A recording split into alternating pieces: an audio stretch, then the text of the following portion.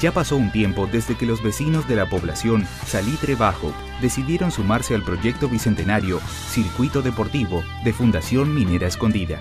Luego de diseñar en conjunto las mejoras de la cancha según sus necesidades, se reunieron para conocer la propuesta final y también el monto del cofinanciamiento.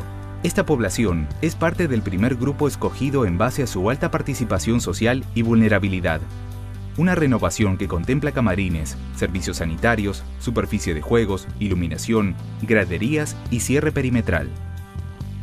Nos favorecieron con este mm, proyecto y a la vez de que esto se hace realidad, sobre todo se hace realidad.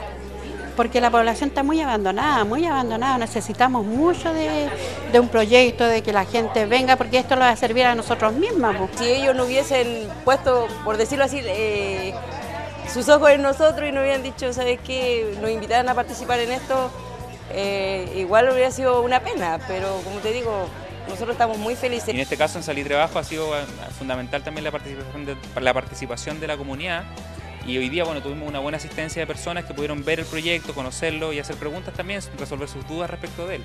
Así que estamos muy contentos por eso. En total, son más de 20 recintos deportivos los que serán intervenidos con el objetivo de construir infraestructuras de calidad que incentive la participación e involucramiento de los sectores más vulnerables con la práctica deportiva.